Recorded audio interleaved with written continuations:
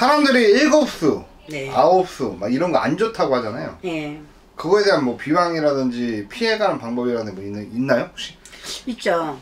근데 꼭 아홉 수에 안 좋기는 안 좋아요. 근데 또 일곱 수에 안 좋기는 안 좋아요. 근데 일때 돈을 또 벌면은 또 많이 번다고 또 다들 하시잖아요. 근데 뭐 그때는 몸으로 치든 돈으로 치든 꼭 하나는 치더라고요. 어, 저- 이 비방 한번 써보는 건 어떨까요? 그 혹시 우리 대한민국 분들 우리 그 용군 TV 노트북 안 보시는 분들 거짓 없잖아요, 그쵸? 일단 용 사장님 만나세요.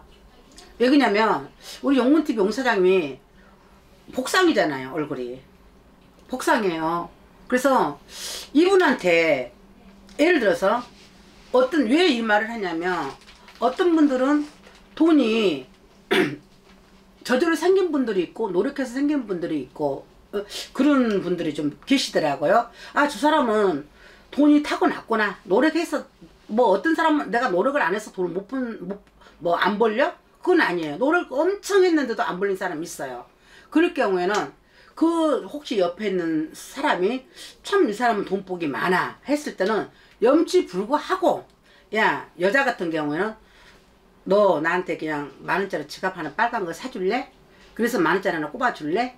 그런다든지 남자 같은 경우에는 예를 들어서 우리가 곤색이라든지 약간 뭐 밤색이라든지 깜장색은 별로 좀 좋지는 않으니까 어 그 돈 있는 좀 돈이 많이 붙은 친구한테 너 나한테 지갑 선물 하나 안 하렴? 하고 그 지갑을 한번 받아보세요. 그래서 만 원짜리 꼭 꼽아달라 한번 해보세요.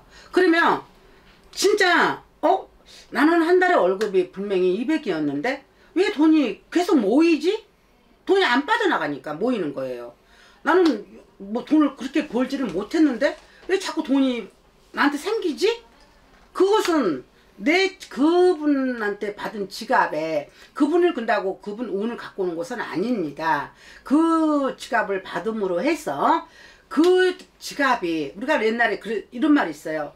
지갑이 정말 중요하다. 어떤 지갑을 사느냐에 따라서 내가 돈이 모아지고 안 모아지고 그런 경우가 있단 말을 하는 거예요. 그래서 그런 친구들한테 지갑 선물 한번 받아보시면은 아마 유익, 유익하게 우리가 돈 버는데 산태민처럼 쌓여놓고 아마 돈 벌지 않을까 싶어요. 대신에 돈 많이 벌거들랑 그 친구한테 꼭 은혜는 갚으세요. 화이팅입니다. 돈 많이 버세요, 여러분.